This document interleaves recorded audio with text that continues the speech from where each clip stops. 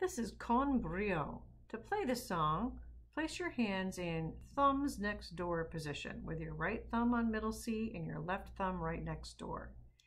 In the book, it says that your third finger should be on G to start the song, but I like to just stay in this hand position and not move my hands like it says to when you get to measure five.